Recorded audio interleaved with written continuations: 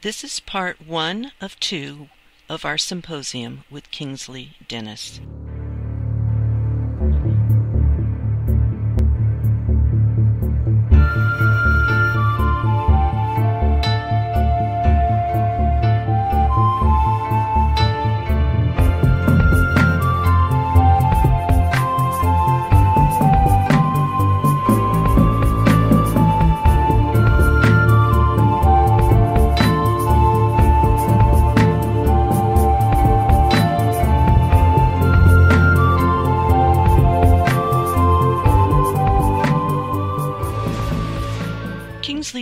PhD, is a well traveled explorer, both inwardly and outwardly.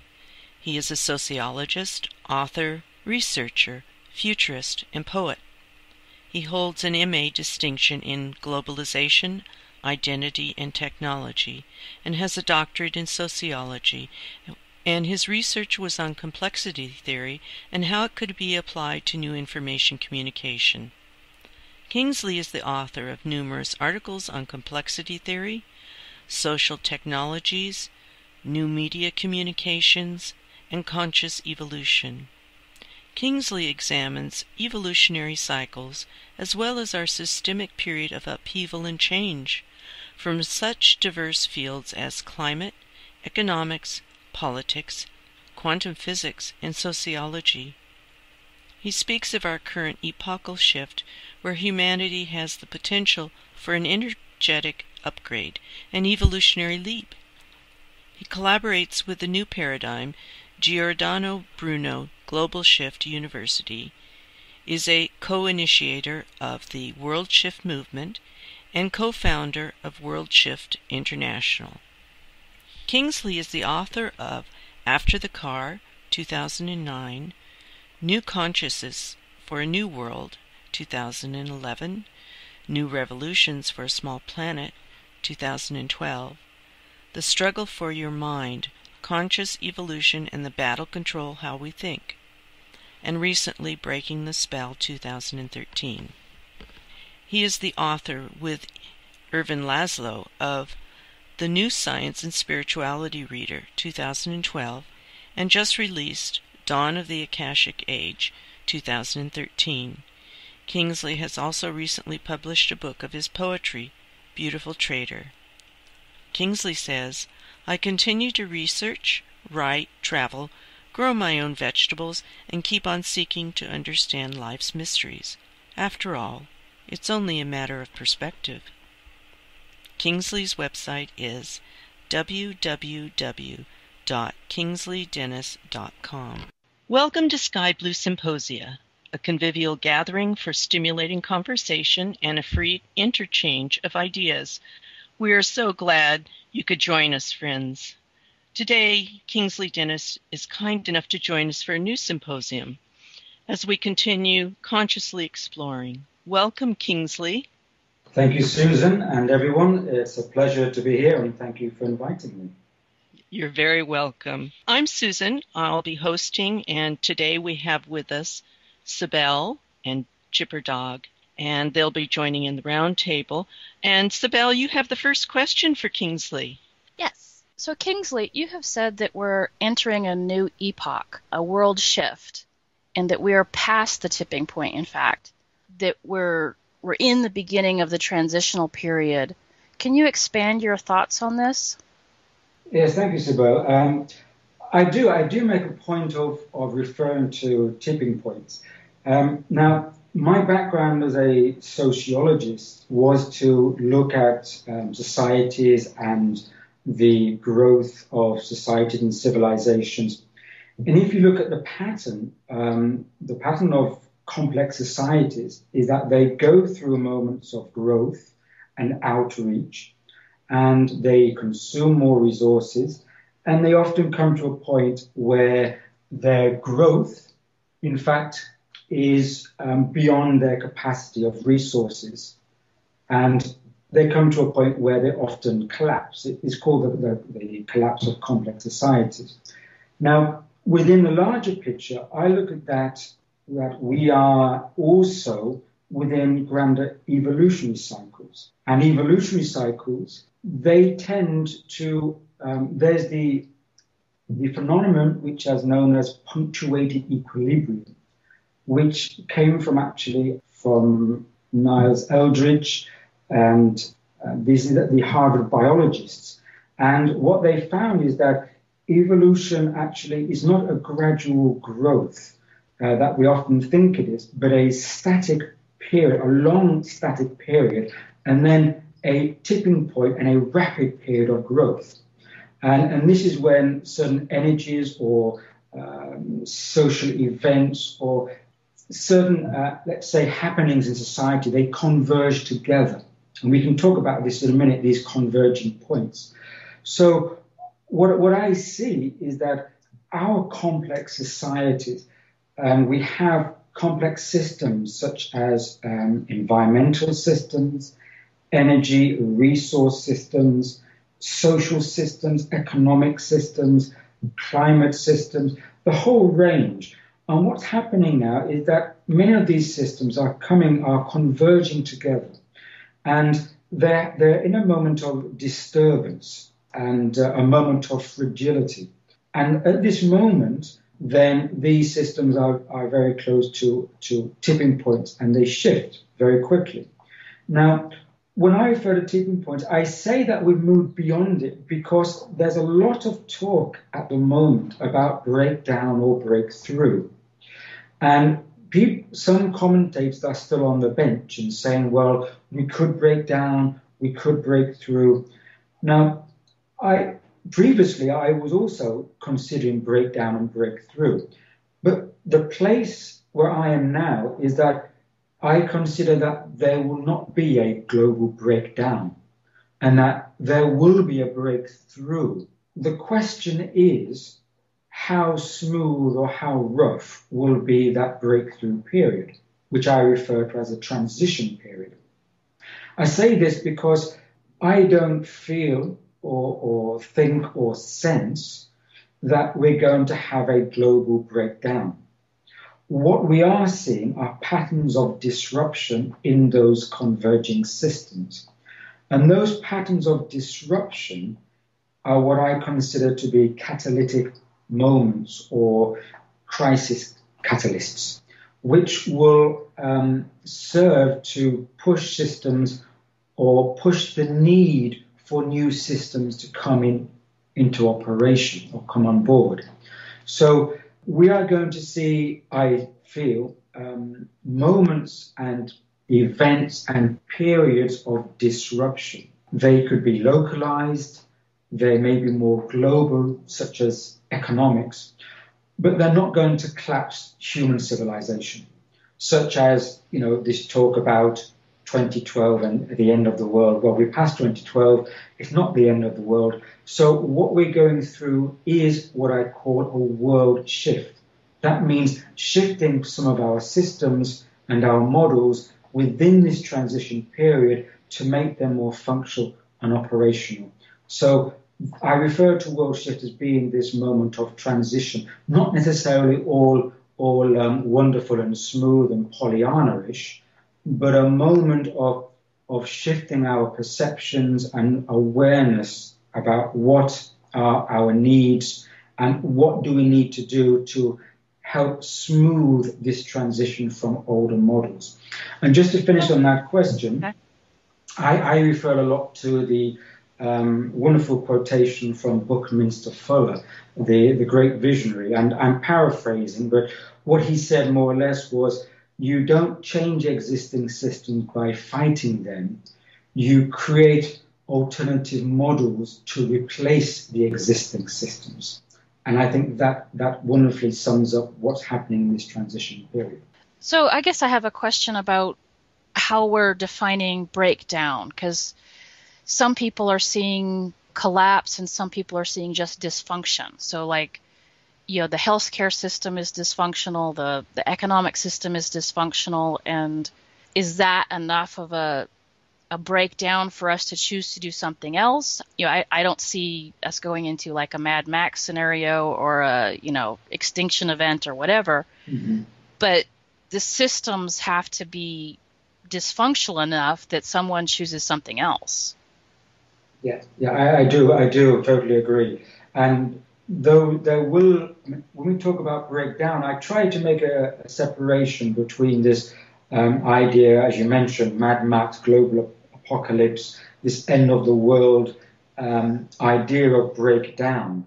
You know, I try to steer away from that because it's important that that we do focus on a what is wrong, but how can we um, how can we participate and and um, and assist this shift, not to focus on negativity or breakdown. So I, I, I, I as the word you used, dysfunctional, I, I like to use that word also. Certain systems and incumbent models are dysfunctional and um, they do need replacing and new models coming online. So, in that sense, we can see specific breakdowns, such as in certain social systems or economic systems. So, we can use breakdown with a small um, letter B. What, I, what I'm not referring to is the capital uh, breakdown, i.e., human civilization is going to implode uh, like the Roman Empire, for example. So we should be aware that there will be some disruptions and some some degrees, various degrees of breakdown in human social systems and international systems, but we we can move beyond that. These are not uh, these are not going to stop the whole human project, so to speak. Yeah, I've seen some people that are it's like they're waiting for the train to wreck so there's opportunity to do something else. It's like, are we there yet? and now I'm kind of thinking it's more like when you you get divorced. It you, know, you think about it for a couple of years of, geez, do I really want to get divorced? And and then you finally come to the decision, yeah, I want to get divorced. And and then there's another year to do the actual that process. So this whole transformation process is it you know how are we looking for something you know dramatic or are we looking for something like gradual changes well that's, that's a good that's a good observation and I, I i don't feel there's going to be one particular answer i think it'll be a combination and in some ways you know it may sad to say that um, we do require shocks sometimes. There's a um, you know, wonderful phrase from uh, 13th century Persian poet Jalaluddin Rumi when he says that organs of perception coming to being according to necessity. Therefore, increase your necessity. Um, so when we are perceptive of our needs, then we can we can sometimes uh, make something happen from them. I, I often see it as a spring cleaning, and I sometimes use a metaphor of when you come to clean your house in spring, sometimes you need to take the furniture out to the house before you can give it a good clean. And so I feel that we may be taking the furniture out of the house, uh, use that metaphor, right now in the world. Some things will be a shock, and we do need a shock sometimes. These are catalytic triggers to make us realize that these systems, these models really are not working. Um, because the gradual system change um, doesn't doesn't always make us realize. But in fact, sometimes gradual change is used in a not so constructive way. For example, often systems are repatched, just like a sinking ship. The captain, instead of changing the ship for a new model, he gets out the the, uh, the bandages and starts to to try to fill up the holes. So, but you know, at the end of the day, we're still sailing on a sinking ship. So gradual change sometimes can be changed by the incumbent authorities to try to repatch the present model. Um, and that, that may not be constructive. So often, and especially at this moment when, when um, a lot of our systems are so fragile, we do need a shock in the system to, to actually bring in the real, real change, constructive and permanent change. So I try to see them as being catalytic and, and positive in the long run. That may not help everyone. That I, I realize that there are people in the world who are going through very strong personal issues at the moment because of the state of the world. So it, it may not be um, for me to say these are catalytic and they will help you. Um, may not be something that everybody wants to hear, but this is my perspective. And if we do really want lasting change in the world, sometimes we need to wait until things come to a head for people on a large scale to really understand. That's one side of the question. On the other side, which is a question, a question that we may explore throughout our conversation, is the rise of consciousness and awareness, which is also bringing in change. So we see many elements at the moment. It, it's a real, it's a real mixed bag of, of physical change, disruption, consciousness awareness rising, and this is why it's um, a world shift on a planetary scale and a time which I, I feel is unprecedented and that we've never been at this point before as a global species. Yeah, I, I could see that sometimes this time could be compared to like the transition from the, the roaring 20s into the Great Depression, but it has a lot of differences as well. It's there's the consciousness is very different you know and, and i think the possibilities are very different that, that the change from the 20s to the, the 40s there was change but i don't think it's as dramatic as what we're facing now. So how do you see you know humanity's consciousness having evolved from in the last hundred years like from the industrial age um, to now? And how do you see us evolving in the future like into 2030 or 2050 well that, that's such a um, a broad perspective, a, a huge question, Sibel. Let's take the first part. Now, you mentioned the 20s and the Great Depression. That was a, a change which I would refer back to bandaging the sinking ship metaphor, in that there wasn't lasting permanent change. Uh, the economic situation was was recovered from, but it gave greater powers to the Federal Reserve, for example, in America, and it consolidated a lot of economic power into smaller hands. And so, in effect, it, it actually strengthened the current system that was operational. So, it wasn't really a major change, um, in my understanding. Now, what's happening now is that the changes going on are affecting people globally. A, for example, if we look at the system of food, uh, food um, the food system is um, worldwide. It actually is controlled by some corporate hands. It also has control of a lot of domestic policy in developing countries. Um, um domestic uh, food is affected by, uh, let's say, climate disruption. Therefore, and then it's affected by economic speculation and future speculation, commodities buying.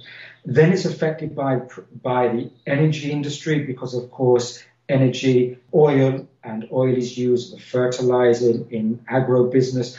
Everything's connected. And it affects people around the world, not only producers, but consumers. So the point that I want to stress is that we are now um, living on, on the cusp of a planetary society. So the changes that are happening and the consequences of that change is, is felt worldwide. And, and also, it brings on board the participation of people globally. And people are connecting globally. So, this is a very different ball game to what I what I feel are earlier, let's say, events such as you one you mentioned in, in the economic uh, crisis of the 20s. Uh, these didn't have the same convergent uh, effect or consequences. We're now in an area where we are affected on a domino effect and all the systems are affected. So, saying that, going back now to the, the issue of consciousness, the Industrial Revolution had a certain mindset, which actually it created a kind of techno mindset or a, tech, a technic mindset because the Industrial Revolution urbanized a large part of, of the world, mostly the, the developed nations, because they were the first to go through the Industrial Revolution.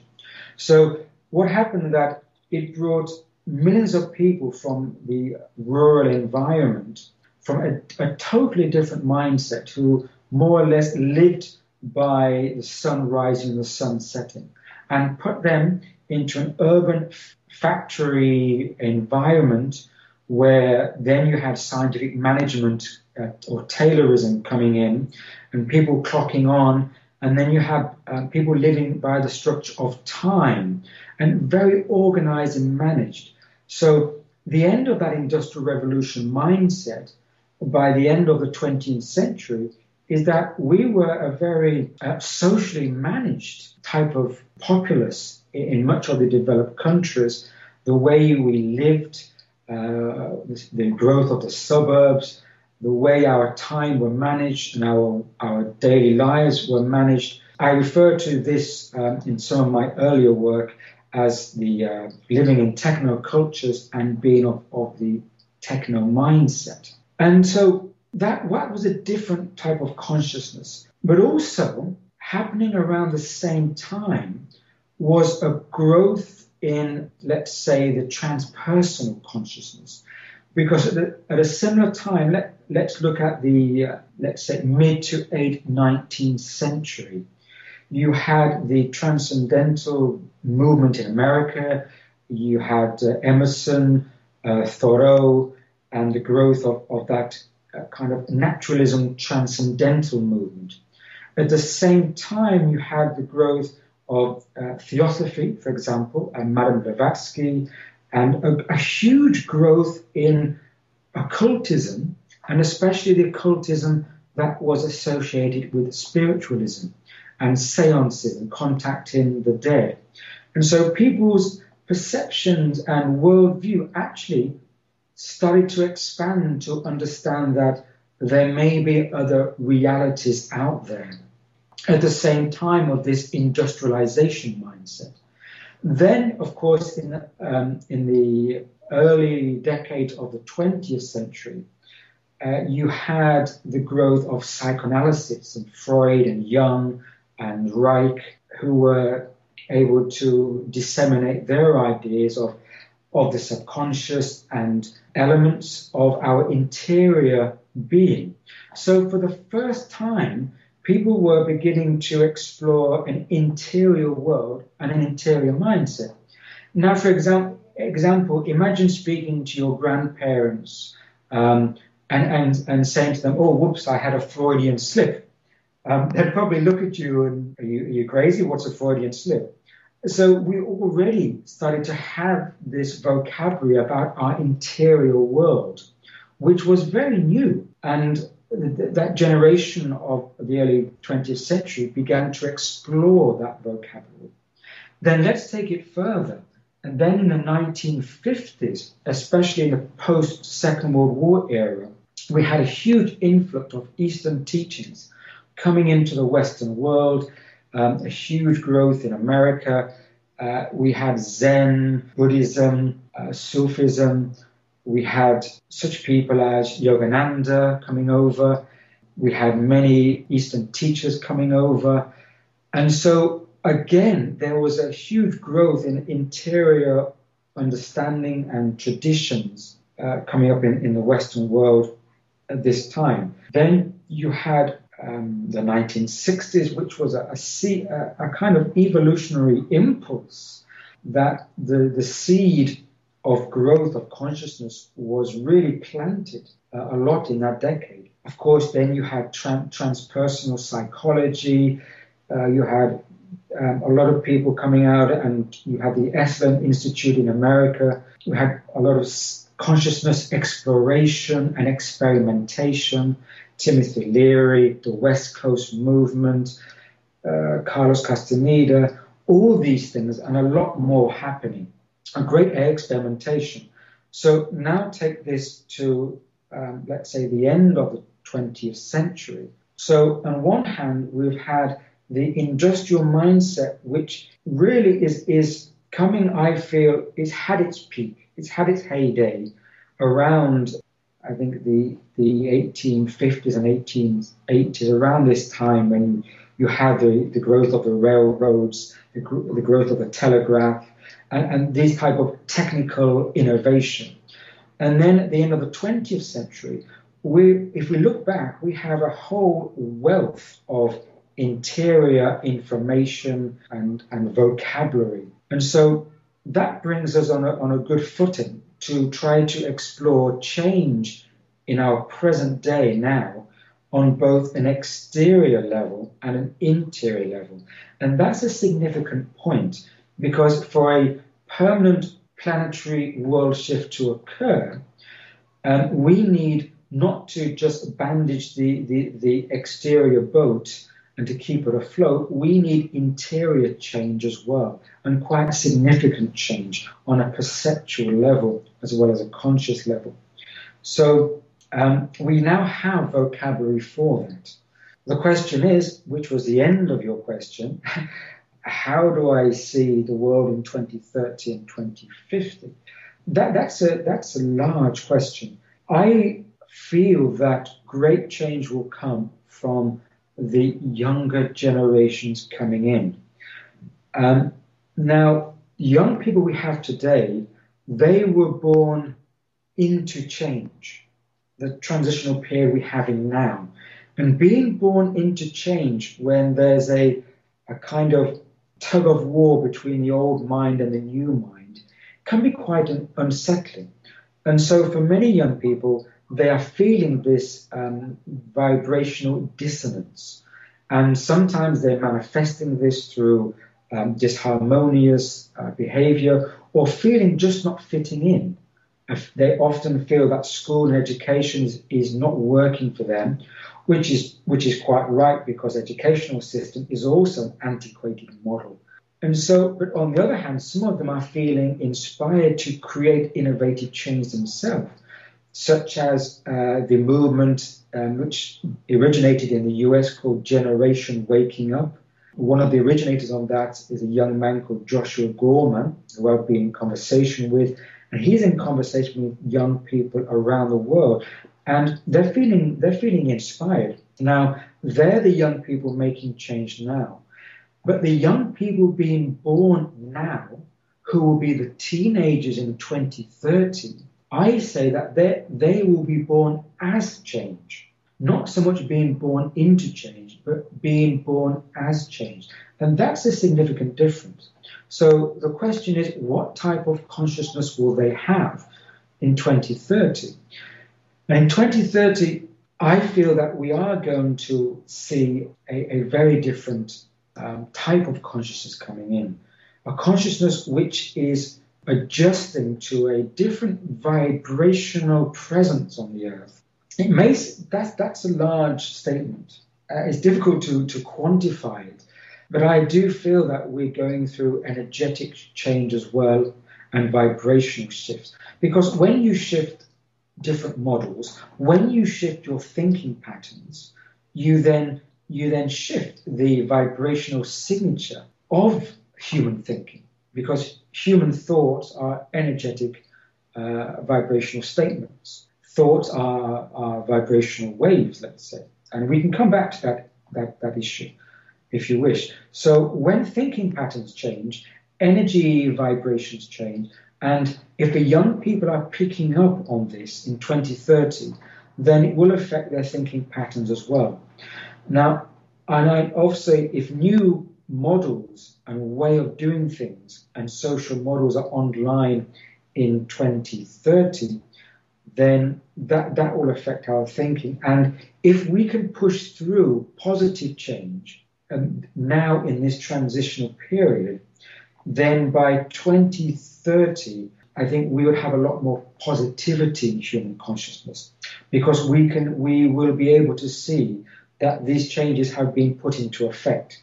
Now, for example, if we if we don't come out of this this transitional period in a good way, then we may feel more negative later on, feeling that we haven't made the shift. But I don't feel that's going to happen at all. I feel that we will start to make innovative change, and therefore that will affect the consciousness as a roll on effect by 2030. I've spoken quite a bit on this. Um, would you like me to speak more and go on about 2050 at the same time? Yes, speak a hmm. little bit on 2050. Okay. Now, I do feel it's it's quite, uh, let's say, it's difficult to speak about the future in a long term. The reason for this is that I sense that we're going through a moment now of exponential change. which means it's not linear.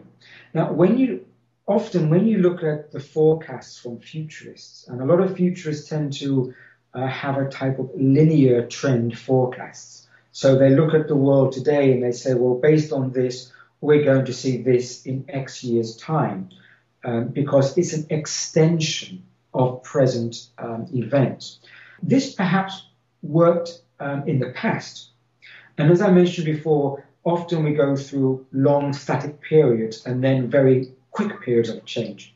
In those static periods, you can more easily make um, forecasts, what I call extension based forecasts. You extend on the current trends. But what I feel we're going through is um, an evolutionary moment of rapid change, which means that everything is, is up for accelerated change. And so change is exponential. And if, if you if you if you're aware of what exponential change is like, for example, a wonderful analogy of exponential change is using a chessboard. And if you say, uh, and this is a story, in fact, it's a story which is well known uh, in the East, and this was when a the king granted granted one of his servants any any any amount of, of grain that he wished in return for his favors. And the servant said, Well, I'll tell you what, let me put one piece of grain on the first square of a chessboard. If you double that piece of grain for each next square, give me the result of that after 64 squares. And the king thought, well, that's an easy enough response, no problem. Of course, the second square is two, you've doubled it. You double it again, four for the next square. But um, you you probably realize that if you keep doubling this, then you get into into phenomenal numbers. And the end of it, after 64 squares, the end result is there was more grain in all of the world, not possible for the king to offer this. This is an analogy of exponential change. Now, um, we're dealing with, with huge numbers that change. Um, they they change because they roll on from each other. Now, change is happening very quickly. Just remember, if we just think back that we had the internet came online really in the early 1990s on, on a kind of um, public scale. It was used on a, on a, on a low scale between scientists before that. The, uh, the first brow, the World Wide Web, Tim Berners-Lee World Wide Web, I think only came online about 96. And here we are, just more or less 15 years later. And, and the World Wide Web has changed the world, changed human behavior, the way we interact. That's an example of exponential change. So I do I'm quite cautious when looking at 2050 because I'm not sure that anybody can accurately accurately predict 2050. We we can try to um, put suppositions and ideas, but I, I feel that we it's so difficult to say this. So what I will say is I'll put out some ideas there. One idea is that energy will have to fundamentally change. Because if we are going to exist as a planetary society in 2050, which is an imperative, then we need to shift the way we do energy. And that means the way we extract energy, our energy sources, our energy, our energy distribution, and our whole way of approaching energy. Now, we will need to find new energy sources that will be renewable and find ways of making them work for the world um, and also localized as well. And I do feel that new technology may come on board to actually um, help those new energies to emerge. We will have to find new ways for countries to interact and collaborate together. We cannot be in 2050 in the same way the world is today. So, I, I, I in this in this period of change, the next 40 years, I refer to this as changing from one set of C values to another set of C values. The earliest set of C values is what we've been using, for example, since the Industrial Revolution and even before, and that is conflict, control, and conquest. And we need to shift towards collaboration, communication, consciousness, and compassion. These values are required if we are successfully to emerge as a planetary society around 2050. That means we'll have to totally um, recalibrate how we um, negotiate together as a world. And I mean that on a political level between nations, also between people. People will have to interact differently and communicate differently, which I feel is already happening now through a kind of grassroots, people to people, group to group um, collaboration and connection. We will have to rethink our resources, how we share those resources. So we go from a, a world of duality, which is some part of the world are, are resource sinks and others are resource exporters, i.e., some are resource givers and others are just resource consumers. We have to share what we have in the world. That will be another aspect that will have to change by 2050. Economics is a huge area. Again, this model, I can't see our present model lasting the end of the decade. And um, I'm quite surprised that our, our current model is still in place, in fact. It, it really is, I think it's a case of the emperor's new clothes, in that so many countries are tied into an international economy that no one can really um, point the finger and say the, naked, the emperor is naked, because if they do, and the the uh, international economy starts to collapse, then um, countries will lose out. I think countries are starting to quietly move out and trying to negotiate their own stability. So the economy will have to change. So I feel that by 2050, we will have moved to a very large degree from a vertical system to a horizontal system. And I'll finish by explaining that.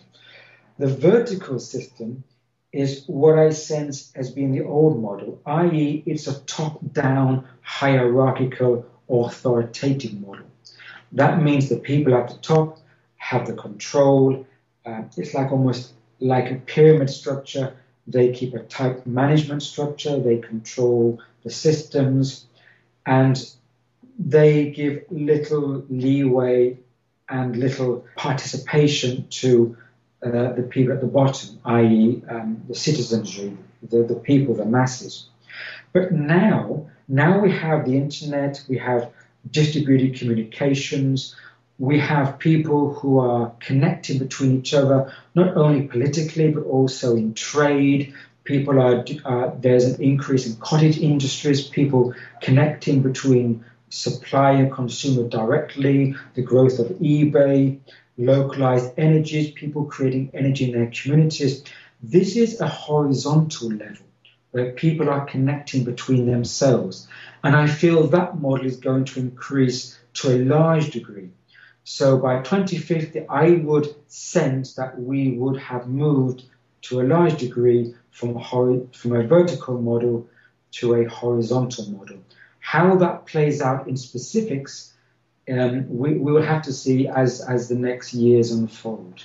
That makes a lot of sense. And I, I look forward to that. That sounds so much more humane. Then I have a, a question. It's kind of pulling back a little more to the now of we have shocks going on and then we need to respond to these shocks in, in different ways that are conscious or productive or seeing new things in it. So like how do we be with something like the events of the uh, Boston Marathon uh, explosions? My sense is that um, it's it's critical how we respond. Um, it's not so much what happens to us, but how we respond to something which really marks us and, and for me, gives us a sense of being. And so um, that, that's, a, that's a good question in terms of what's happening today. The my first initial response would be to say we should not respond or react in fear or negativity or frustration or anxiety because those types of responses, emotions, and mental sets are debilitating. If, if we have fear in our mind, our body, and our emotions, we are already operating at a lower efficiency. Um, this is being tested by muscle reaction, for example. People have, for example, given people images of fear or, or words of fear and then tested their muscle strength, and it, it, the results are quite um, astonishing. We have low, low strength, low, low, low response mechanisms. What's happening through the mainstream media, through um, and, and showing global events, is that on one level, it's it's creating a reaction of, of frustration and anger and fear, and this is not constructive. But if we look at actually what else is happening, we will see that after these great, after these events, these, these horrific events, such as what happened at the Boston Marathon and at other events um, like Sandy Hook and others around the world, is that there's been a great rallying of people, people showing great empathy, compassion, and saying that we are going to rise above this. And if you if you look at that and, and focus on that, for me, it, my hair stands on end. It gives me goosebumps when I when I when I see this emotion from people. That is the real heart of humanity, the ability to respond to crises or negativity with something powerfully human constructive and positive. Now, I talk about the metaphor of fear as, as something material, and that fear and negativity wants to be wants to be a part of our lives because it, it, it, it actually, in reality, it doesn't have that much power. So it tries to pretend it's larger than it is. For example, if we are in a darkened room and there's no light, we sense that everything's dark completely dark, 100%, and it feels as if the darkness is powerful. But all we have to do is light strike one tiny match and it illuminates the room. The darkness can be can be uh, taken away with just a little match. That's the power of light. So the way to respond is to overcome, to put in human positivity and say, well, this has happened. We can't change what has happened. The only thing that we can change is how we respond to it. And to respond constructively is for me the only way to go beyond uh, these moments of negativity. Now, I feel that there, there will be more disruption down the line, especially in 2013. There will be perhaps individuals trying to create havoc there may be um, organizations or even nations who are trying to either maintain the status quo, resist change, or perhaps even to the point of intentionally creating anxiety. So people may, may wish to be passive and not create change between themselves. All these are possibilities. But the only way to respond to that, to create change, is to participate with the, uh, the new C values I mentioned before. And so, what's important today is that we are more of a participatory culture through our social media, through our distributed communications. We can reach out and connect just as we're doing now through Skype, now having a conversation.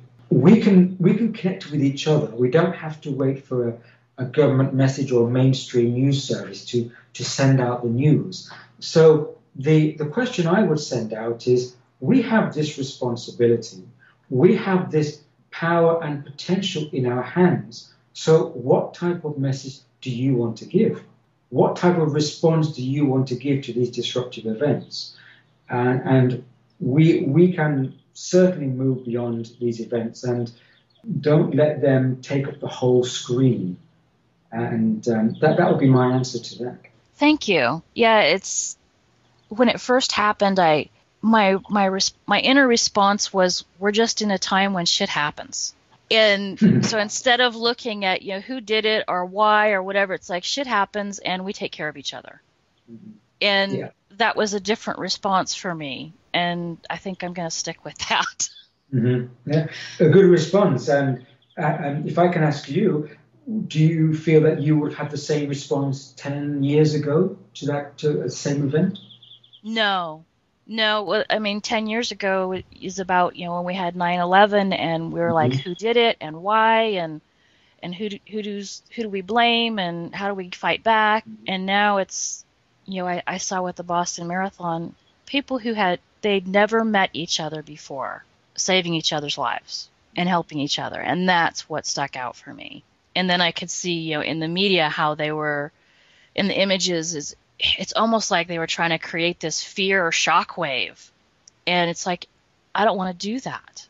You know i want to treat it like you know a hurricane happened or whatever happened and we pick up Mm-hmm. you know? That that's kind of where i came from And it's interesting you, you, you say that because I, I've noticed the same thing is that people's responses are different than, say, 10 years ago or 9 11.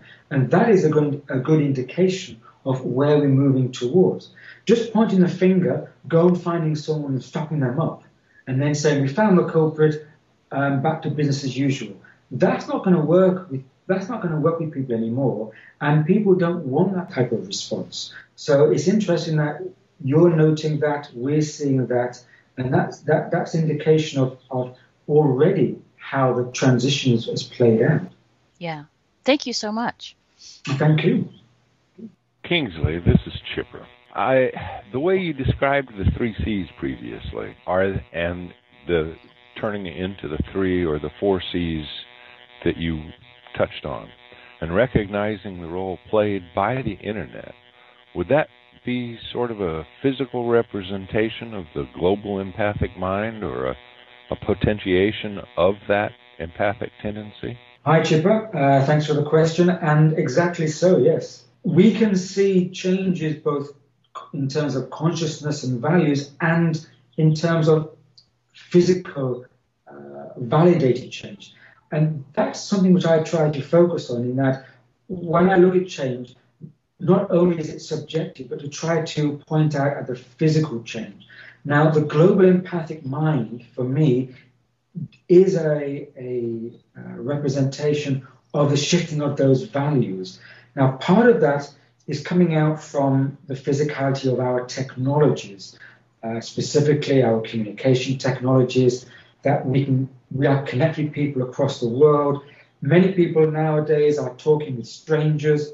Young people are connecting with with friends. Uh, they're opening up, opening up, and talking to friends across the world in, in ways that perhaps they wouldn't open up to uh, their classmates or someone next door to them, because there's a sense of, for many people, uh, freedom in communicating with so-called strangers or people at a distance.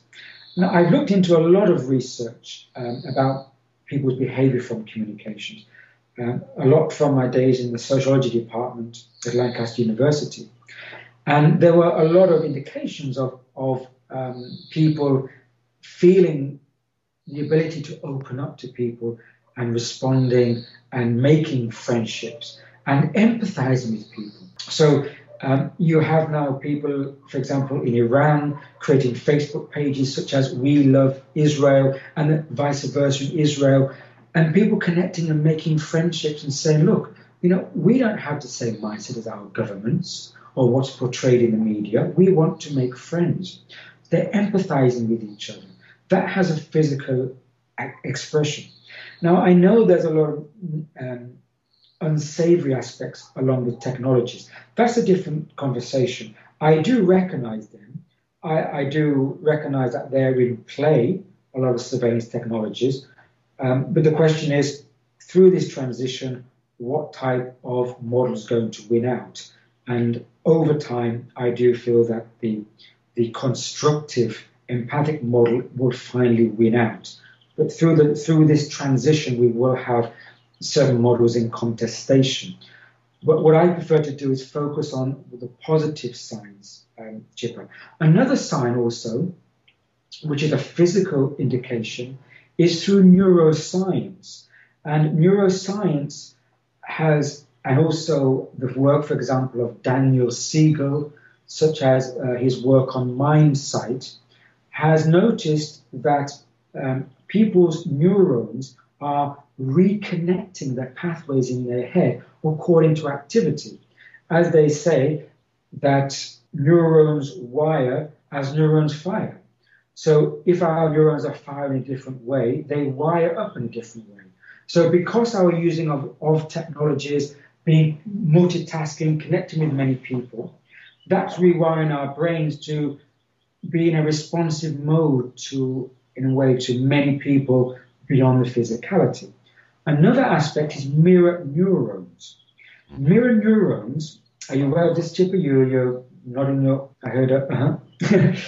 mirror neurons is when uh, scientists noticed that through their research, is that our, our neurons in our head, when we observe another person, and this is also the same in, in certain mammals, such as monkeys, that when we observe another person in an activity, such as eating, for example, the same neurons in our head fire as if we were eating, although we are not. It's almost as if we are mimicking them. That means that we are empathizing with their activity and we are resonating and almost recreating the same activity in our head. This may account, for example, if we go to a, watch a, a movie and there's a sad moment and we start to cry. We can't help it because we are empathizing with the person on the screen because our neurons are, are firing in the same pattern. Now, that's happening in the way I feel that people are connecting around the world. We have a, an event, we have, you know, we have events, let's say, um, food crises in, in developing countries, we have conflict crises in many countries, and people are empathizing with that because somehow their neurons and their brains are reacting. So, to answer your question, David, there's a very physical response to the global empathic mind. It's not just an ethereal or consciousness or energetic right. response. Yeah. Right. It's not just a vibratory response. It's an That's actual, right. Yeah. Mm-hmm. Yeah. I, I, ran into V.S. Ramachandran uh, a few years back and was just astounded by some of his presentations with those mirror neurons. And what that spoke to me of is that we've got we've got the equipment, the brain equipment to be as empathic as we choose. Mm-hmm.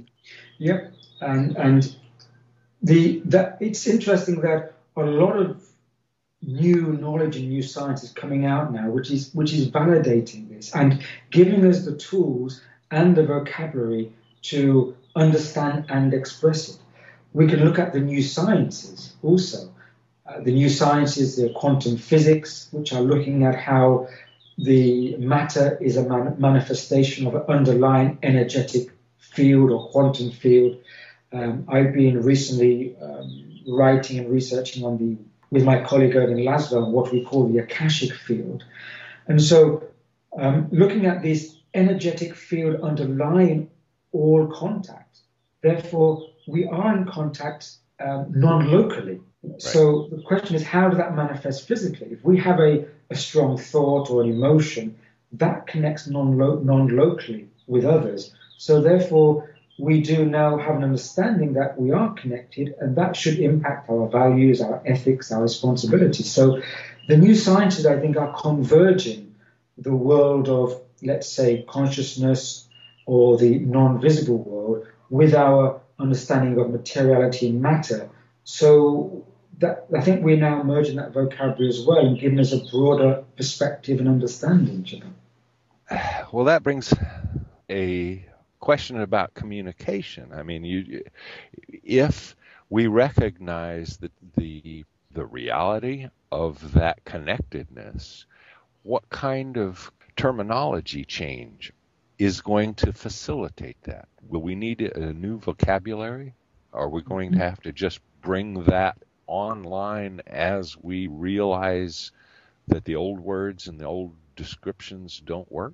Yes, I, I feel that we are naturally going to start to use a new vocabulary or understand vocabulary in a new way, a new interpretation.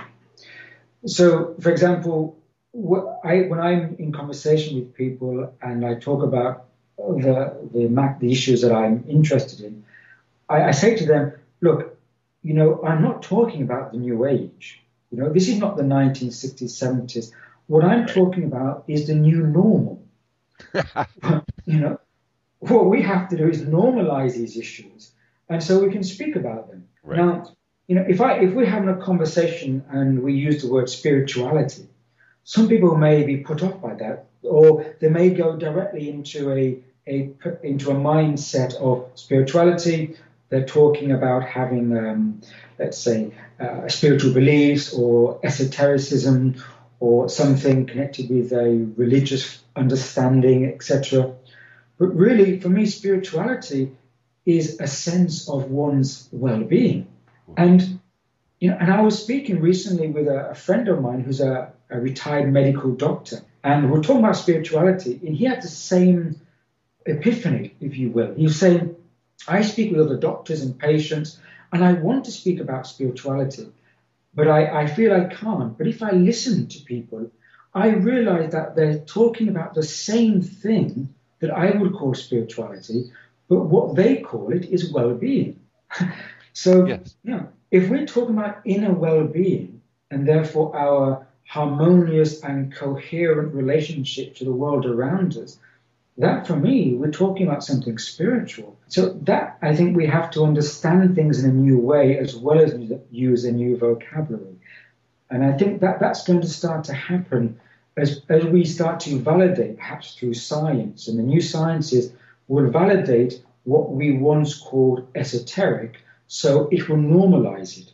And so when I have conversations such as we're having today, my, my main imperative is to normalize these things, normalize things of the human spirit, of human energy and vibration, so so people can talk about it without being worried that the person next door is going to look at them strangely. well, I just I just wonder if the, the what you spoke of the quantum field and uh, if you being the basis for the physicality, could that also equate to the the new phrase for spirituality, which would be em- empathic recognition of that connectedness. I mean, mm-hmm. it, we're we're seeing it physically, and we're seeing the tangled quarks showing us that physicality of that spiritual phrase from the old paradigm and I'm I'm just wondering if what we've found out about how the mind works, how the mirror neurons work, and how the the vibratory state of an individual holding holistic and and well-being thoughts versus anger or territorial or or whatever other types there are. Yes, Japan, and a lot of these findings have already being being validated and out and are out there. They're just perhaps not so publicly known.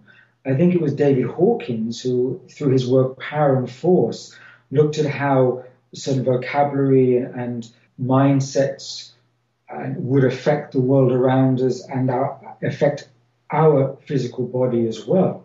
And also, if you look at the work of Larry Dossey, the medical doctor, he he now uses the term non-local medicine. Uh, he calls it era, era three medicine. And that we moved from era one to era two to now era three, which he calls non local, which is a quantum physicist term. And so, what, what we need now is more credible pioneers, credible people, credible researchers connecting the dots and validating that so people can be almost, people need to be assured that these things are credible and are not fringe ideas.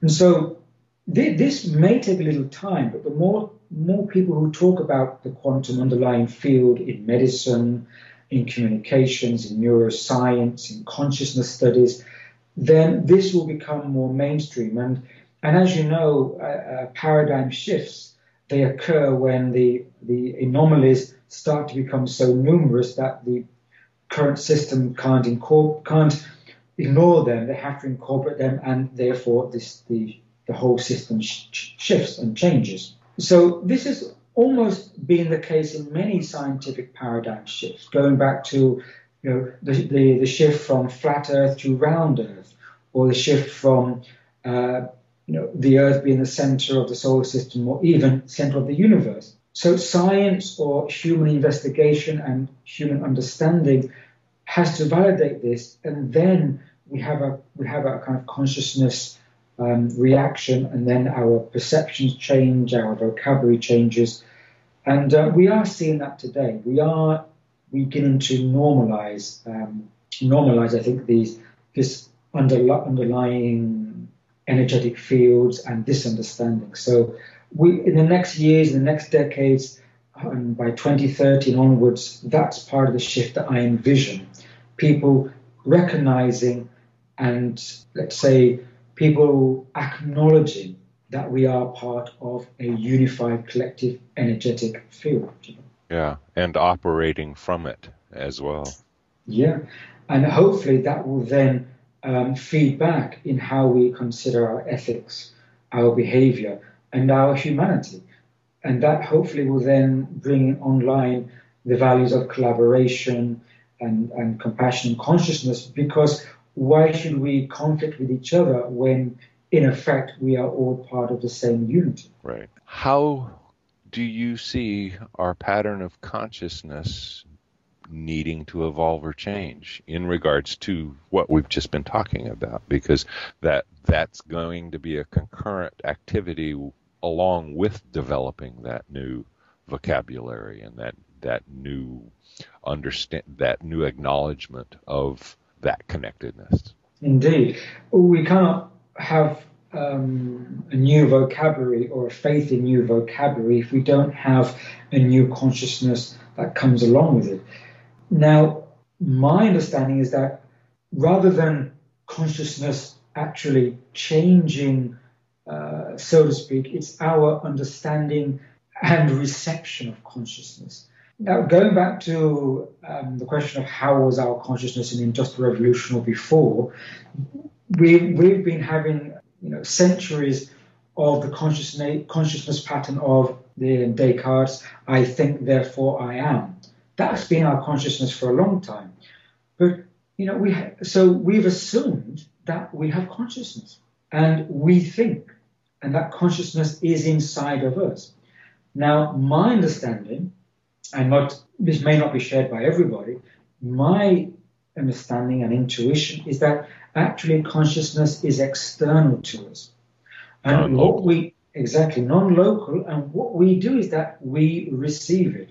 So the analogy is like a TV set, in that um, perhaps if we place a TV set in, in the middle of a of a let's say, if we went back in time and placed it in the middle of a tribe a few hundred years ago, they would think that the pictures were inside of the television.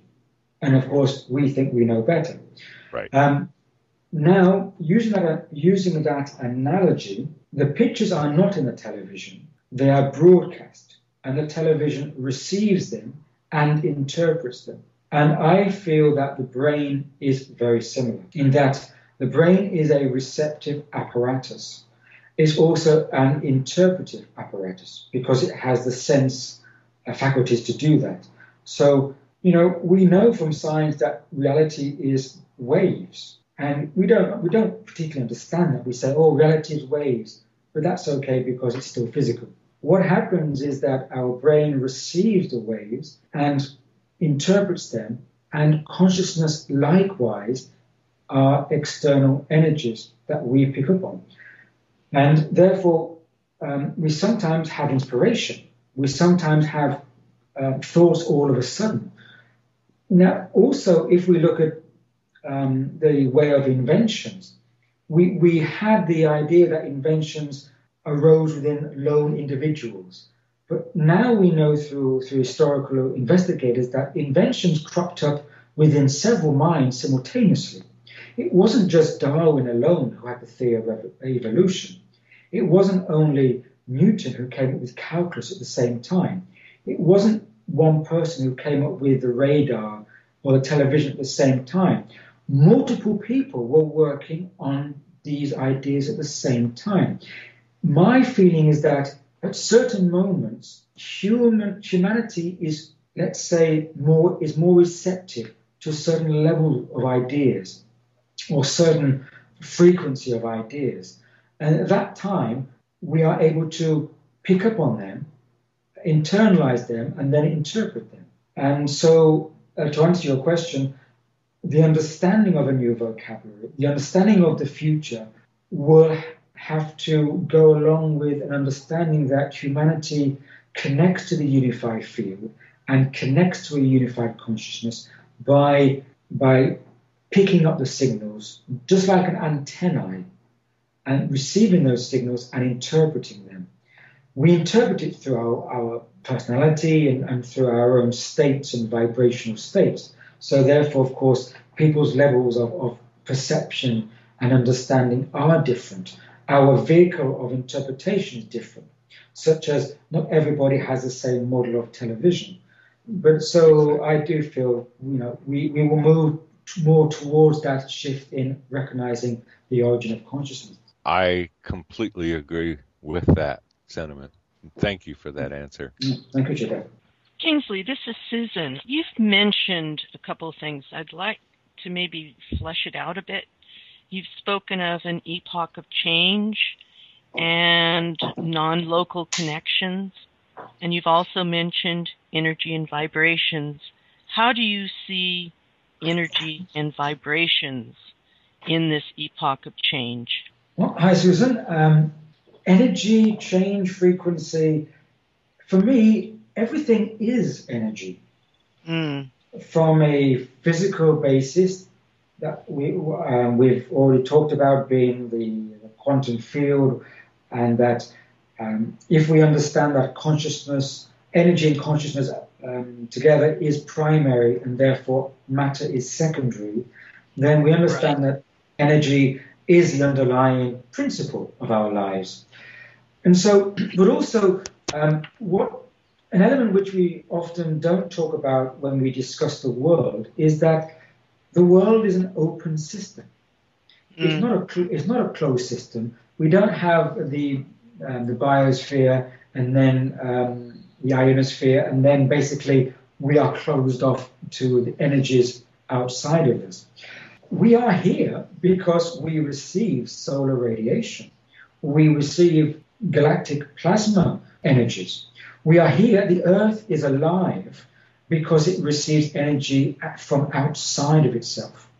Hmm. um, and we so I think we should recognize that in our vocabulary when we come to discuss the Earth systems, uh, nature, environmental systems, because we talk about these systems as though, as though they are part of a closed system. And so, oh, it's humanity's fault only because humanity does this, this system changes, and if we tweak this, if we geoengineer this upon the Earth, everything will be fine. It's like, whoa, um, step back a bit. You know, have you, t- you know, have you taken into account that there's other factors a part of the equation and they are outside of the Earth?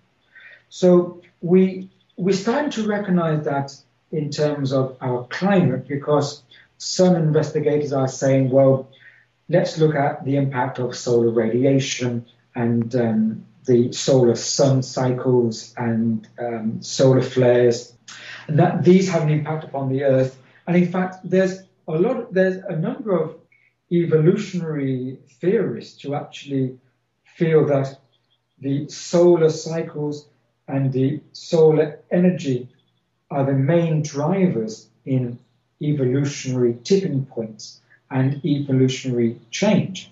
And they are trying to do a they're trying to do a study of um, this. It's difficult because we can only study the sun according to our, our scientific devices. If we could go back in history, we may find out that if we had the means to record solar cyclones and solar activity, we could make a, a comparable a check with evolutionary uh, moments. But of course, we can't go that far back in terms of our science. Now, the sun gives off a lot of extreme solar radiation, which is uh, it's imperative for the survival of this planet. At the same time, the sun receives um, gamma radiation from this from our galaxy, and specifically from the center of our galaxy, which is a black hole. And black holes are still not not that well understood.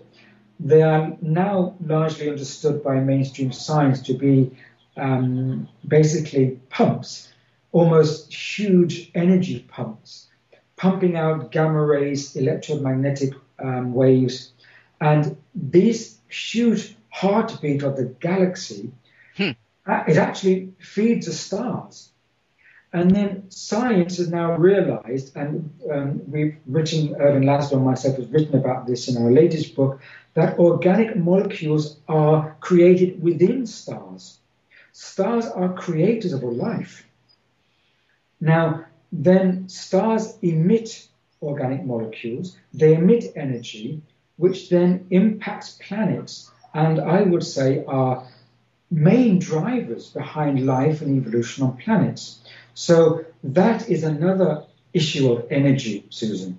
So we, if we're having a different solar mood, let's say, or um, the solar system does go through larger cycles and spirals, if the solar system is moving through a different energetic neighborhood, so to speak, then that will affect the energies arriving on our planet Earth. Though the question is, the human body is our nervous system is also an electromagnetic antenna. We can go back and verify that by biophysics. Biophysicists, and such as the work as Mae-Wan Ho and Fritz Popp, have found out that our human DNA um, emits biophotons, which are in a quantum field. So our body is a quantum field of light, which then responds to the energetic environment beyond us, outside of us. So the question is, if we're talking about human consciousness changing, which goes back to the question of the, the changing of our human nervous system and our brain that receives human consciousness, how is our human nervous system and our human physiology being impacted by the changing energetic environment of our Earth, which is impacted through the sun, which is further impacted through the galaxy? To go beyond that, or rather to take it the other way, below our feet, the core of our Earth is also giving off an electromagnetic energy through the, the core of our spin of the core Earth. And in fact, now scientists have realized that the inner core has two layers the second inner layer and the, the primary inner layer. The secondary inner layer is, is the molten part, and they feel that the inner layer is more solid and almost a kind of magnet. Now, we're receiving energy from the earth, and that can be talked about in ley lines and and certain energy grids. So all this is impacting the human body and therefore is impacting how we receive and interpret consciousness. So that energy question is primary and um, is is a you know where do we stop, Susan? Was that similar to your feelings and your the, the the how you felt that you were posing a question, Susan? Uh, yes, th- this goes along exactly with what I've been picking up, sensing, reading from other people. And it's like we have to move beyond a view of the earth is flat or we're the center of the universe and come to a much larger picture that incorporates the sun as an energetic consciousness, perhaps, as well as the stars, and perhaps too that we're moving through a place in the universe we've never been before. And also, this leads into another question I have and would like to put to you about Earth changes, potential Earth changes, since all these new energies are coming in, the vibrations are changing, and here we are in our human bodies, and uh, I don't see how we cannot be impacted or that the Earth could not be impacted. And I just wonder what your thoughts are on that. Well, I, I totally agree that the Earth changes uh, are also a response to a shift in the energetic environment. Now, the Earth changes, they have multiple causes. Uh, I'm not denying that humanity has affected Earth changes, such as our cutting down of, of the rainforest and um, our destru- destruction of topsoil and, um, and desertification and pollution, etc. Now, these things are happening and do affect the climate and earth changes, but it's, it's not um, the whole picture. The, the earth changes are so on a large scale and so dramatic that they are part of a much grander process. And part of this is the changing energy which is coming from the sun. Some astronomers are saying, as I mentioned in the last question, that the solar system is moving towards a different energetic environment, which is more energized.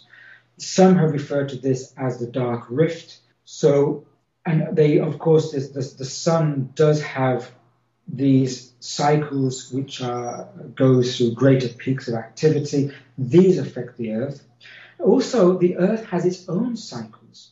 The Earth has large, large water cycles, for example.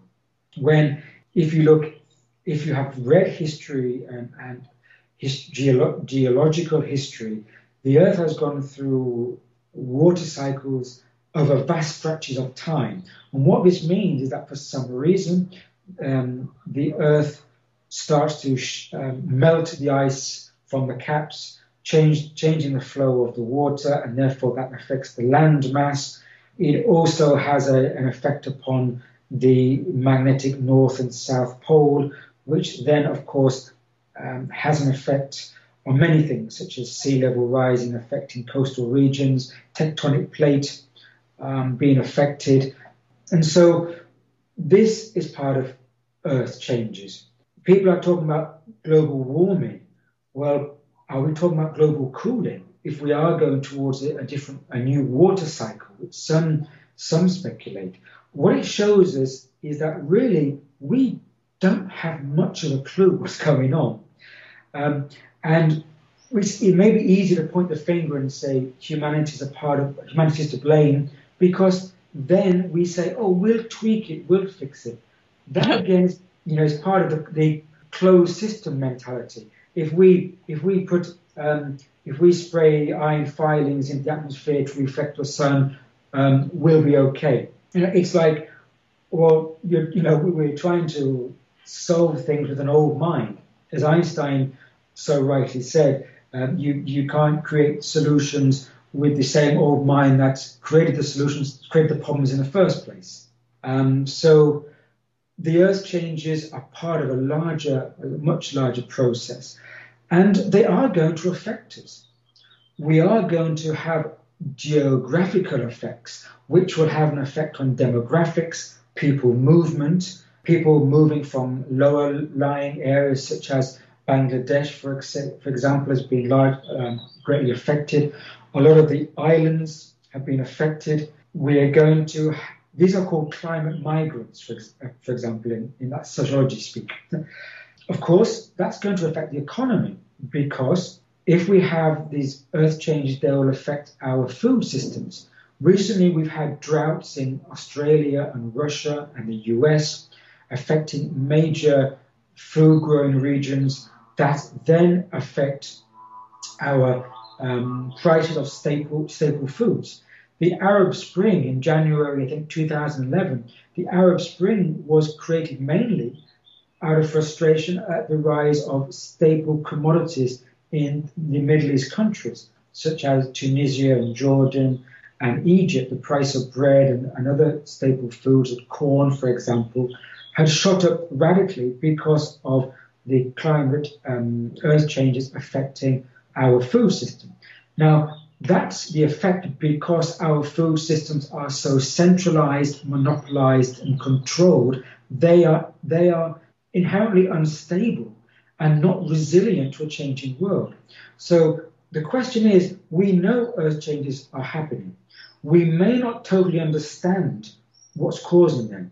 So we should move, this is my understanding, by the way, we should move from a position of human hubris and say, mm. oh, oh, we can change this. Let, us just change the, uh, the source of what we feel are the global problems. We should say, no.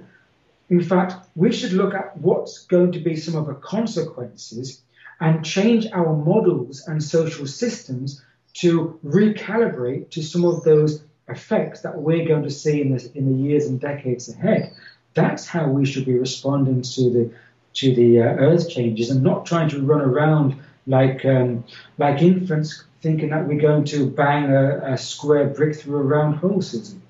Well, it's interesting. You mentioned the element of water and how fundamental change on Earth is correlated with water. And actually, symbolically, water is seen as the psyche. And I wonder if, if we can make this leap of imagination to seeing that there's no differentiation between water, psyche, earth, human, if that might be part of this epoch of change we need to go through. And that will then help us adapt. Mm-hmm. That's a wonderful thought. And I would add to that that water um, can also be related to being a feminine element and the issue, and the values of feminine values of nurturance, of life-giving sustainability. What I would say is with the psyche and the water um, analogy is we need to move towards embracing uh, a greater balance between the masculine and feminine energies in the world and to to also increase the exposure and the the, the, the element and the presence of feminine energies in the world. We've had a, a very patriarchally based uh, societies which have been behind a lot of these C values of, of competition and conflict. We need to reach out to a lot of the um, so far still unheard voices of the world. Reach out to people who can bring the values of sustainability, nurturance, um, collaboration, and and maybe the feminine values. And I do feel that perhaps I don't want to name it or to categorize it, but to go towards a planetary society, to go towards 2050, which was an earlier question, is that we need to see the rise of uh, feminine values and the appreciation and support of that uh, ahead, Susan? Uh, I just, if I was there, I'd give you a big kiss on the cheek for that one. I'd give you, i give it, you a great hug back as well, a big, big hug.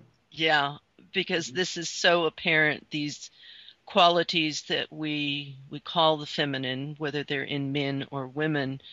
And I very much appreciated that you spoke of those who are unseen or unheard because sometimes color or culture differentiations um, suppress are suppressing so many that have so much to offer, and so I think it's time that we we get back to relationship and tenderness and our no differentiation. There is no I and thou. There is only we. So um, very much appreciated, Kingsley. Yes, and that's the, the important word you mentioned there is we. Um, we need to be part of the we generation now. Uh, we need to move aside from this sense of duality, especially the categorization of, of me, um, masculine and feminine values. As you rightly said, feminine values are feminine values, whether they exist in, in men also or not. We need to embrace the unity and understand that masculine and feminine values both have a role together in unity and not to not to bring into duality. And, and that, that's important there as well to understand that. Wonderful. And uh, I, I think the birds are singing with you in agreement behind you just to prove that the earth is in this conversation as well. Thank you. Yeah, you're welcome. The birds of Andalusia are outside singing along, indeed. Lovely.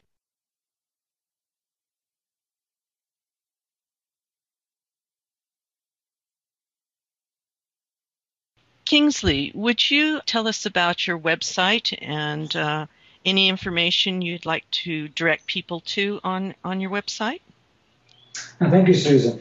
Yes, I, I my website is my name, kingsleydennis.com. You can just Google my name, Kingsley Dennis. Uh, luckily, there's not many of us out there, and you can find it quite easily. I, I put a lot of material on the website. I I have many articles free for downloading. I have articles in Spanish and French. And also, I put out a newsletter every month, which I write an article for. And also, I put out uh, news links and, and web links and video links.